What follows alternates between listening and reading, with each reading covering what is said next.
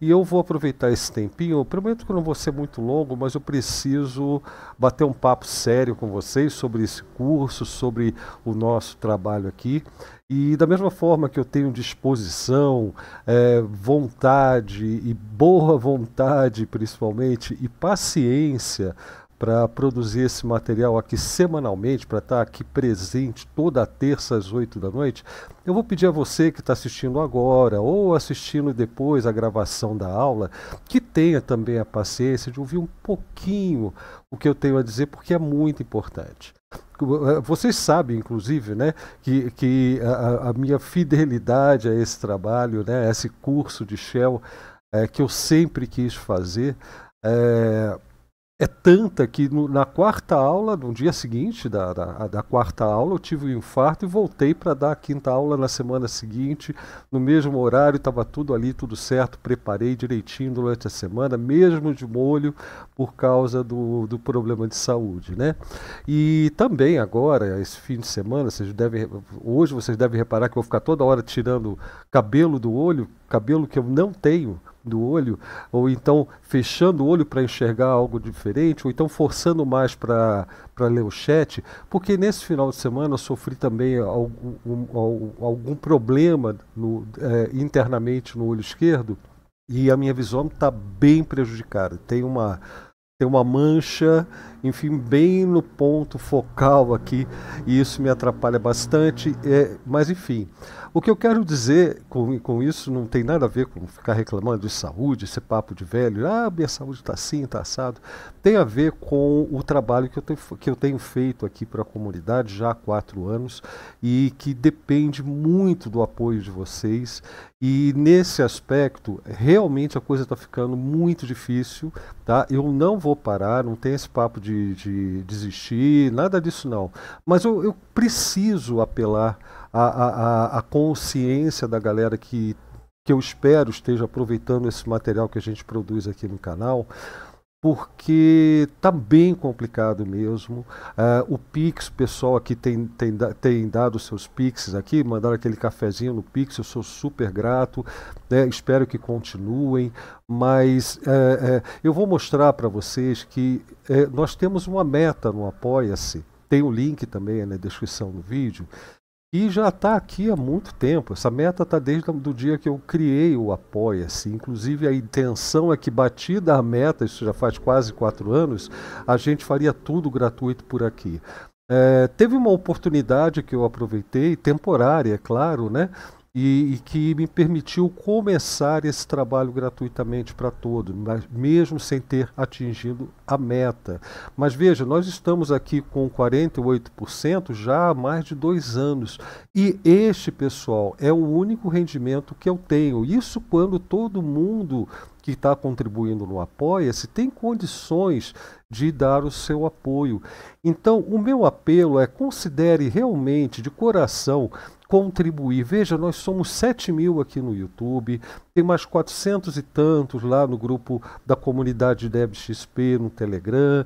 Tem um pessoal ainda que curte o nosso trabalho, mas está lá no grupo do professor Creteu, do curso GNU.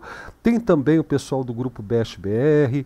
Tem o pessoal do Twitter, esse pessoal todo. Eu não digo nem todo mundo, porque tem muita sobreposição, né? de seguidores, de inscritos, etc. Mas, enfim, se a gente pensar que apenas 10% desse pessoal tivesse condições ou se dispusesse a se comprometer com uma, uma, doação que fosse de 5, 10 reais mensais, o que não paga nenhuma cerveja que todo mundo toma no final de semana, que não paga uma coxinha com um suco. Sabe? Se, esse, se 10% da nossa galera tivesse condições de parar, pensar, olha, esse trabalho que ele está fazendo pode ser útil para mim e para outras pessoas, principalmente para outras pessoas que não têm como pagar cursos.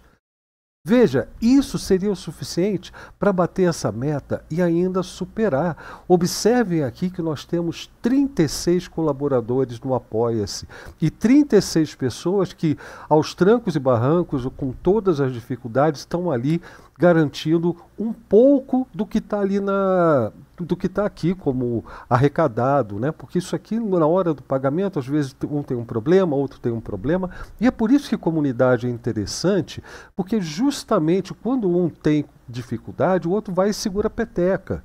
Né? Então, eu queria fazer esse apelo, porque de fato, esse é minha, meu rendimento mensal fixo. Eu tenho mais um aluno particular que também me ajuda, mas veja bem, uma família, um trabalho desse, energia elétrica, nós temos aqui a própria manutenção do computador, que se pifar já era, não tenho nem como é, recorrer ao, a, a, ao substituto mais. Então, é uma situação bastante crítica que, fora esses detalhes técnicos que envolvem a transmissão, envolvem também a minha vida diária pessoal. Eu sou professor desses assuntos, eu, eu até pouco tempo atrás, eu vivia das inscrições mais do que o do próprio apoia-se, né, das inscrições e resolvi não, não vai ter mais inscrição. Esse era o meu sonho desde quatro anos atrás, quando eu lancei o aqui mesmo no Apoia esse programa Programar Liberta porque eu acredito no potencial emancipador que a gente tem desse tipo de conhecimento. Eu gostaria de ter feito muito mais por aqui. Gostaria e poderia ter feito mais, mas de fato essa luta diária pelo pão de cada dia, né, é, mas esse compromisso com a qualidade que eu tenho, espero que isso reflita no que vocês recebem, eu espero que tudo isso é, é, seja de fato um gerador de oportunidades. Eu espero mais do que isso, eu espero que esse, essa minha forma disruptiva de ver, a, a, de ver o trabalho, de ver a participação da comunidade em relação ao trabalho, eu, eu espero que isso inspire outras pessoas e que a comunidade acolha também esses novos, novos projetos, talvez algo mais interessante dentro da sua própria área de interesse, né? Enfim, mas eu de fato é, preciso ressaltar a importância para nós que trabalhamos com o ensino, é, é, temos da participação da comunidade nesse trabalho. Tá? É muito mais grave do que vocês podem supor a minha situação e a situação de tantos outros professores que nós temos aí oferecendo seu trabalho gratuitamente para todas as pessoas que querem e principalmente para aquelas pessoas que precisam aprender. Ok? Domingo agora foi dia do professor, né? É, é, o pessoal me, né, me saudou como se eu fosse um professor de fato, eu sou apenas de coração, Tá? Mas eu agradeço demais a, a, demonstração de carinho, mas eu precisava fazer essa, chamar vocês a essa reflexão, ok?